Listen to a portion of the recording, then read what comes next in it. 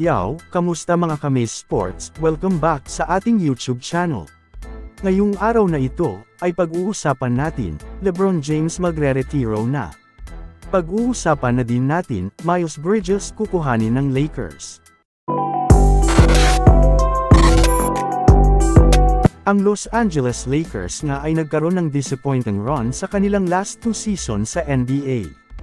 Subalit kahit nga ganun ay nananatili pa ring isang championship contender ang kanilang kupunan, dahil nga sa kanilang superstar na si Lebron James. Marami nga ang nag-akala na magre-retiro na ito ngayong season, subalit kitang-kita naman nating lahat na sobrang lakas pa rin itong maglaro dahil kitang-kita naman natin na kaya nitong makipag-sabayan sa mas batang players sa kanya. Kaya naman ngayon nga ay trending ang isang balita na kung saan, naglabas nga ng isang pahayag itong si Lebron James patungkol sa kanyang pagre-retiro. At ayon nga dito, ay kailangan nga daw niyang bagalan dahil ilang mga taon na nga lang daw ang kanyang gugugulin sa NBA bago nga ito tuluyang magretiro, na ayon nga sa mga NBA insiders na kapag tuluyan ngang nagretiro itong si Lebron James, ay paniguradong tatamlay daw ang NBA. Ano ang masasabi mo dito? Mag-comment lang.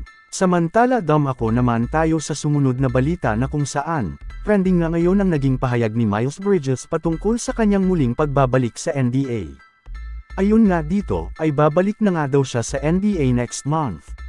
Kaya naman kaliwat kanan na nga ang mga rumors at balitang nagsisilabasan patungkol dito.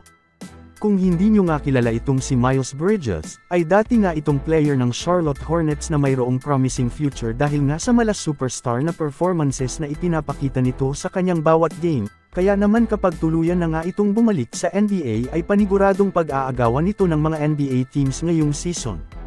At ayon nga sa mga NBA insiders, na malaki nga ang chance ng Los Angeles Lakers na makuha itong si Miles Bridges ngayong season, dahil may kasalukuyan nga silang open roster spot sa kanilang kupunan, kaya naman maari nga nila itong makuha sa free agency market.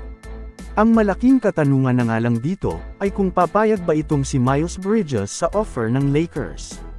Ano ang masasabi mo dito? Mag-comment lang.